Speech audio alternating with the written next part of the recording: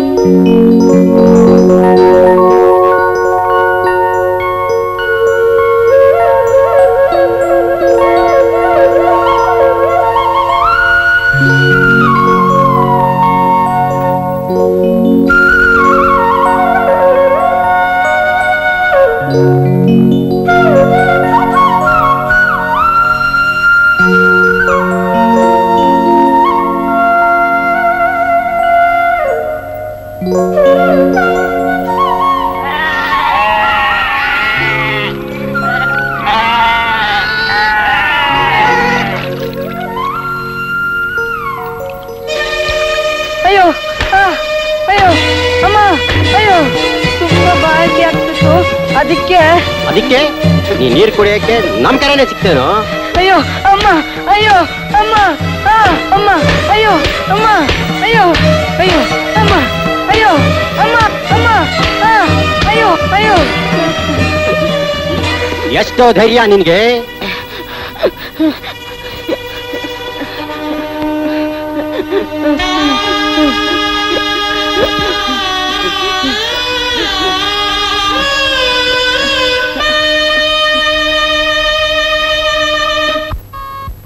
ಬಹಳ ಹೊತ್ತಿಂದ ಇಲ್ಲೇ ಕೂತಿದೀಯಲ್ಲ ಶಾಲೆಗೆ ಹೋಗಲ್ವೇ? ಹ್ಮ್ ನಾನು ಹೋಗಲ್ಲ. ಸರಿ ಶಾಲೆಗೆ ನಾಳೆ ಹೋಗೋವಂತೆ. ಮೊದಲು ಹೋಗಿ ಕೂದಲು ಕತ್ತರಿಸ್ಕೊಂಡ್ ಬಾ. ಹ್ಮ್.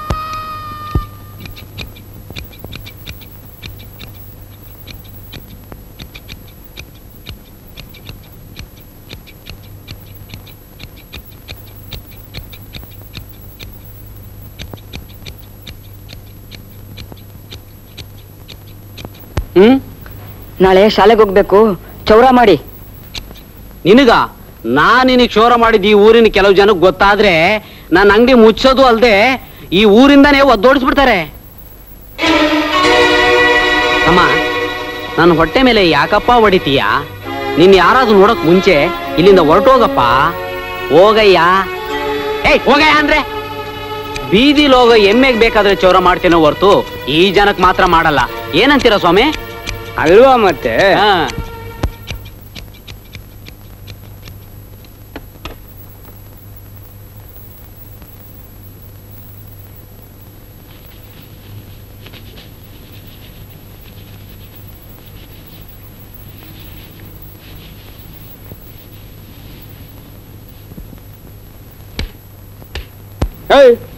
ನೋವಾಯ್ತಾ ಸ್ವಾಮಿ?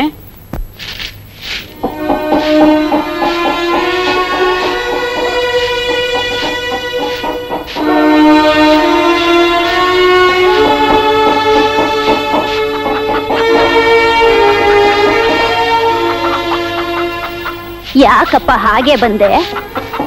ನಮ್ ಕೂದಲ್ನ ಕತ್ತರಿಸಿದ್ರೆ ಅವ್ನ್ ಕತ್ರಿ ಮೈಲ್ಗೆ ಆಗುತ್ತಂತೆ. ಹಾಗನ್ನ ಅವನು ಹೌದು. ಏನ್ ನಾನು ನಂಗೆ ಇನ್ನೂ ದುಡ್ಡು ಕೊಡು.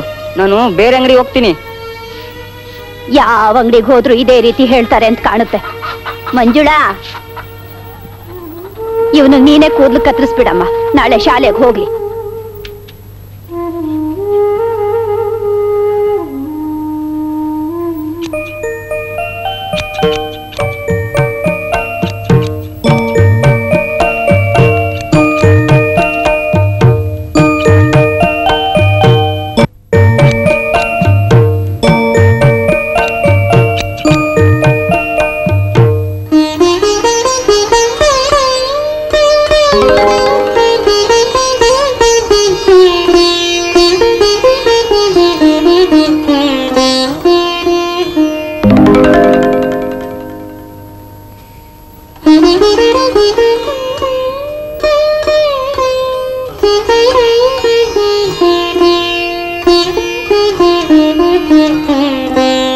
ಭೀಮ ಯಾಕೋ ಒಂಥರ ಇದಾನಲ್ಲ? ಹೌದು ನಿಮ್ಮ ಅಕ್ಕ ಹೇಳ್ತಿದ್ರು. ಊರಿಂದ ಬಂದಾಗಿಂದ ಮೈಯಲ್ಲಿ ಹುಷಾರಿಲ್ಲ ಅಂತ. ಅಥವಾ ನಾನು ಎರಡನೇ ಮದುವೆ ಮಾಡ್ಕೊಂಡಿದ್ದು ಅವನ ಮನಸ್ಸಿಗೆ ನೋವಾಗಿದೆಯೋ ಏನೋ? ನಿಮ್ಗೆ ಆ ಅನುಮಾನವೇ ಬೇಡ.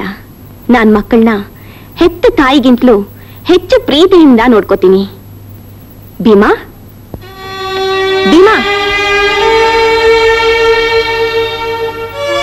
ಬಾಪ ನೋಡಪ್ಪ, ನನ್ನಿಂದ ನಿನ್ ಯಾವ ತೊಂದರೆನೂ ಬರೋದಿಲ್ಲಪ್ಪ.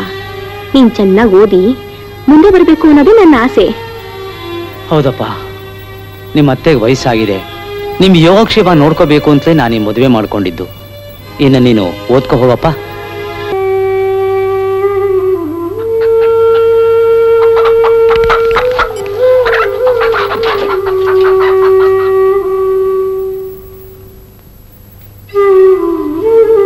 ಯಾಕಪ್ಪ ಒಂಥರ ಇದೆಯಾ ಶಾಲೆಗೂ ಸರಿಯಾಗಿ ಹೋಗ್ತಾ ಇಲ್ಲ.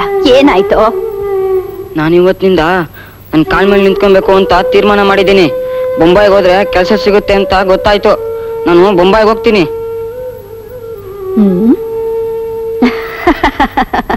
ಅಲ್ವೋ ಬೊಂಬಾಯಿಯಲ್ಲಿ ನೀನೆಲ್ಲಿ. ಅಲ್ಲಿಗೆ ಹೋಗಿ ಕೆಲಸ ಮಾಡೋ ವಯಸ್ಸ ನಿಂದು. ಸರಿನಪ್ಪ ಅಲ್ಲಿಗೆ ಹೋಗಕ್ ದುಡ್ಡು ಎಲ್ಲಿದೆ ನನಗ್ ಗೊತ್ತು. ನಿನ್ ತಲೆಲಿ ಇಂಥ ಯೋಚನೆ ಯಾಕೆ ಬಂತು ಅಂತ? ನಿಮ್ ತಂದೆ ಇನ್ನೊಂದ್ ಮದ್ವೆ ಆದ ಅಂತ ತಾನೆ? ನೋಡು, ಇಂಥ ಕೆಲ್ಸಕ್ ಬಾರದ ಯೋಚನೆನೆಲ್ಲ ಬಿಟ್ಟು ಚೆನ್ನಾಗಿ ಓದೋದನ್ ಕಲಿ. ನಿಮ್ ಚಿಕ್ಕಮ್ಮ ತುಂಬಾ ಒಳ್ಳೆಯವಳು ನಮ್ಮನ್ನೆಲ್ಲ ತುಂಬಾ ಪ್ರೀತಿಯಿಂದ ಕಾಣ್ತಾ ಇದ್ದಾಳೆ. ಹೋಗು, ಹೋಗಿ ಓದ್ಕೋ ಹೋಗು. ಹೋಗಪ್ಪ, ಓದ್ಕೋ ಹೋಗು.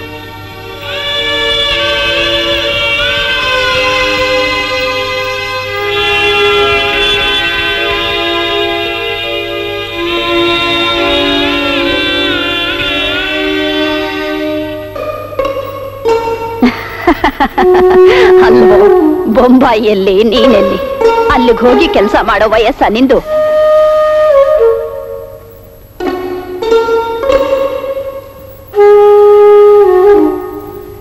ಸರಿನಪ್ಪ ಅಲ್ಲಿಗೆ ಹೋಗಕ್ ದುಡ್ಡು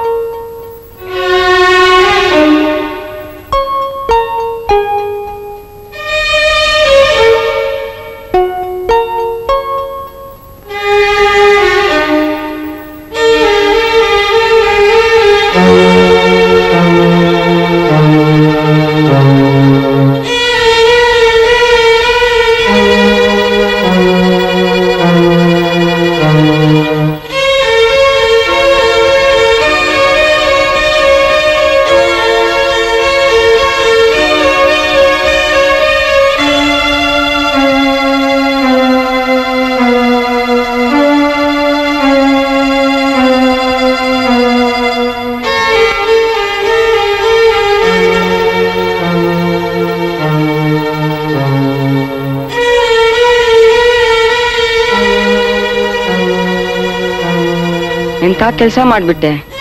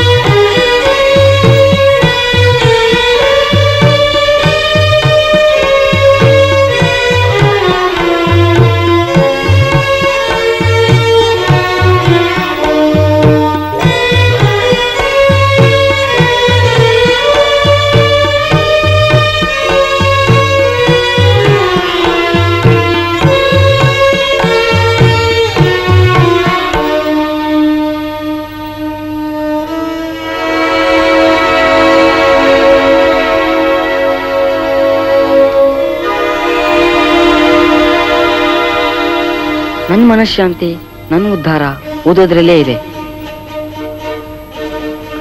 ನನ್ನ ಮನಃಶಾಂತಿ ನನ್ನ ಉದ್ಧಾರ ಓದೋದ್ರಲ್ಲೇ ಇದೆ.